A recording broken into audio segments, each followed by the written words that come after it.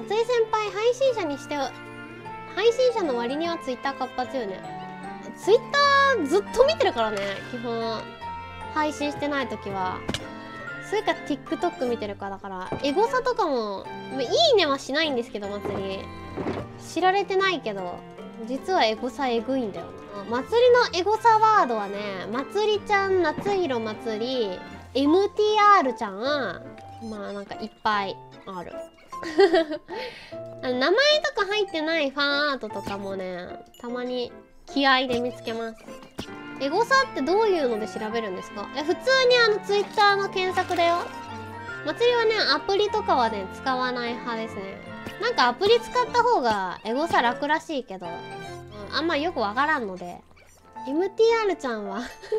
MTR ちゃんとあの NTIRMTR 大体エッチ。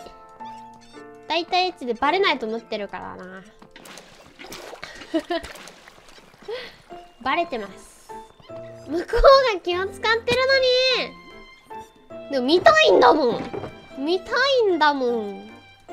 エッチなやつも、まあ、ちなみに松井エッチなやつ見つけたらいいねしてるんでね。あのー、いいね欄をね定期的に見ている方はもしかしたら松井ちゃんのエッチなイラストが出てくるかもしれないんですけどご了承ください。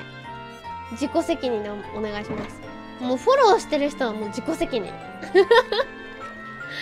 うん、バリッバリにいいねするからどんな割とえげつないえげつないエッチなやつでも。丸入れるやつは？あー丸入りはねわかんないんだけどでも結構ねあのいいねで流れてくるんよ。まるさんがいいねしましたとか言って、うん、3000回愛してるぞ